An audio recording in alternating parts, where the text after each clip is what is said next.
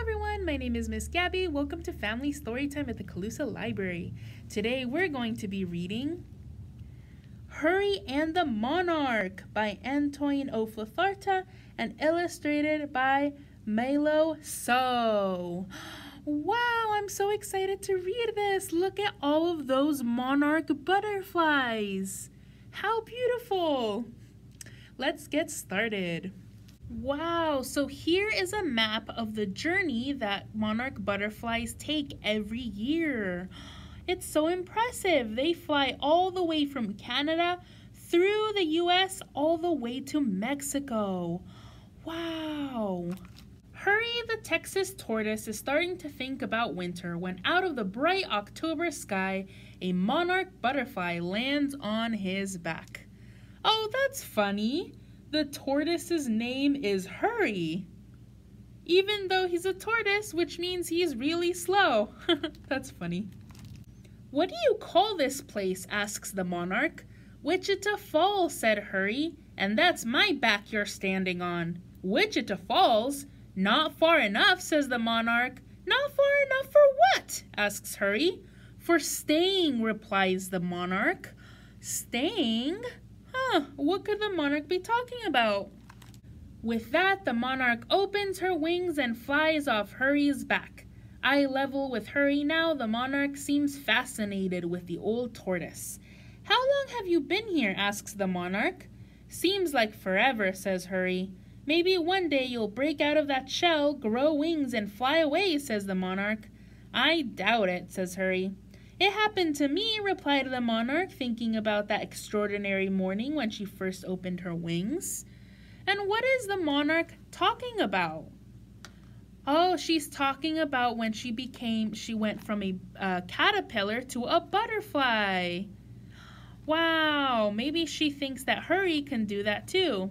But he can't because he's a turtle, right? Or a tortoise. Hmm. Where did this happen? asks Hurry far away in a place called Canada, in a garden just like this. Why did you leave? asks Hurry. The days got colder, says the monarch. What do you do when the days get colder? Sleep, answers Hurry. Cold days always change back into warm days if you wait. I don't have time for that, says the monarch, flying away from the garden. So the tortoise uh, waits for the winter days to get uh, warmer and for it to become spring, but monarch butterflies migrate from a cold place to a warm place. Wow. She joins more monarchs. They turn the sky orange as they continue their journey south towards Sweetwater. Wow, look at all of the monarch butterflies migrating south. There's so many. Back in the garden, a cloud passes over the sun and Hurry shuts his eyes. As the old tortoise begins to dream, the monarch travels on, resting at night in places you would expect to see a butterfly rest, and sometimes in places you would not. So while he's sleeping, the butterflies are continuing their journey, and every so often they have to stop. And where are the butterflies stopping? On flowers, of course. Have you ever seen a monarch butterfly or any type of butterfly next to flowers? Hmm. I sure have. Wow. Each new day brings new sights. Sometimes a day brings danger. Oh, it must be exciting to see all the places as they're flying over, but it could also be dangerous too. Oh no, the bird is gonna get them. But the monarch survives, flying now towards Eagle Pass, then over the waters of the Rio Grande into Mexico. Oh, good. The bird didn't get them. And they're continuing their journey. On and on she flies until finally, one November evening, she finds it.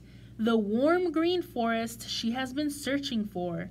She hangs from a bough, adding her tired wings to the soft murmur of a million others. Oh, They found warmth in the forest and now they're all going to uh, jump onto the trees. Oh, that's so exciting that they finally made it. The monarch in flight from winter knows she has found the perfect place. Oh, they found the perfect place to stay for a while because it's warm, it's bright, it's lovely. Oh, and what do we see in the uh, branches there? It's a little bird. They're sharing the space with a little bird. Aww. Spring returns to Hurry's garden. He slowly opens his eyes and feels the warmth of the sun. Never fails, thinks Hurry. Then one morning the monarch also returns. So where are you going now? asks Hurry. Back to the beginning, answers the monarch. Do you mean Canada? asks Hurry. Possibly, says the monarch. So, wow, now that they've stayed a long time in a warmer place, they're going back. Oh, it's so good that Hurry got to see the monarch butterfly again. Wow, and look at all the beautiful spring flowers. How lovely.